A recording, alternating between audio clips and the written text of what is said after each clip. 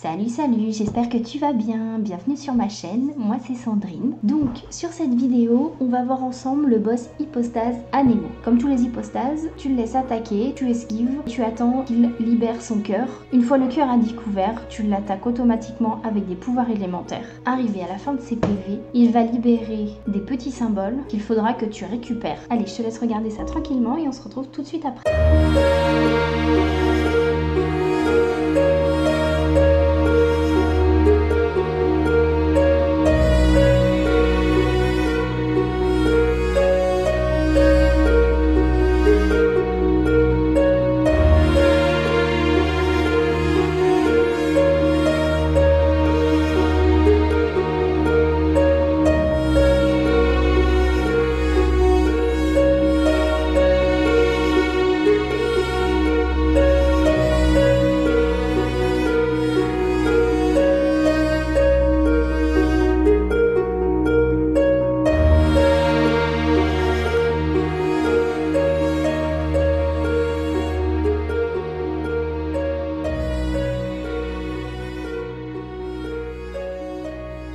Voilà, c'est terminé. J'espère que cette vidéo t'a été utile. Alors, l'avantage de celui-ci, c'est que tu peux utiliser n'importe quel pouvoir élémentaire. Surtout, n'hésite pas à cocher le petit pouce, ça fait toujours plaisir et à partager la vidéo. Je te souhaite un bon game. Je te dis à très vite dans une prochaine vidéo. Ciao, ciao